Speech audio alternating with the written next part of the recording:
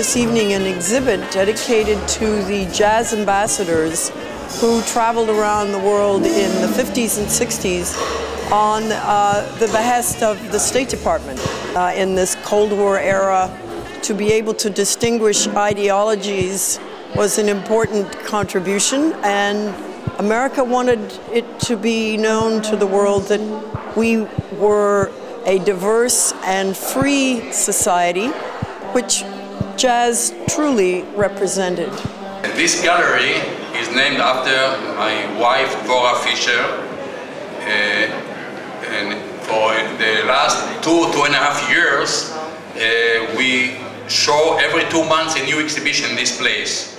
It started with an exhibition which was part of our collection, private collection of uh, uh, which we call artist messengers of peace. These are over 300 pictures and sculptures that are on the subject of peace. We were, we were not, we are not art collectors, we are peace collectors.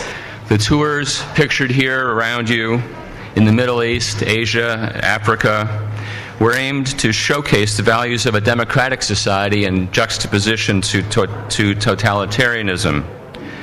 For more than two decades, famous American jazz artists were sent by the State Department to perform in far flung countries as, simply as ambassadors of goodwill.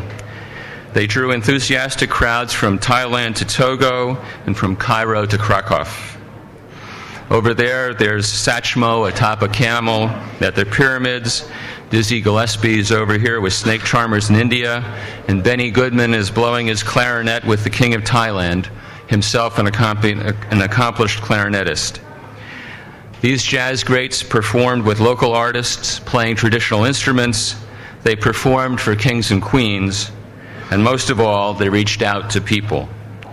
Wherever they went, as these marvelous photographs show, these ambassadors brought goodwill and an infectious sense of fun. They also brought an appreciation for this uniquely American art form called jazz.